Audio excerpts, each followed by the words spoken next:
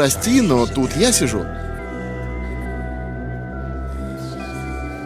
Ладно, без проблем, теперь оно твое. Странно. Тренер, мне уж показалось, что я кабинетом ошибся. Понятно. Хотя нет, я ведь не знаю языка жестов.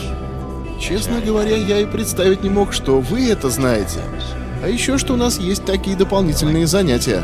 Ладно, было интересно, но я, пожалуй, пойду.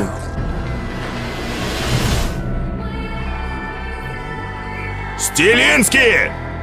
Ага, Я вообще-то задал вопрос. ну, теперь уже слушаю. Стилинский, хватит напоминать мне, почему я пью каждую ночь. Кто-нибудь желает ответить на вопрос, написанный на доске? Я в порядке, просто заснул на секунду. Чувак, ты не спал. Проснись. Проснись.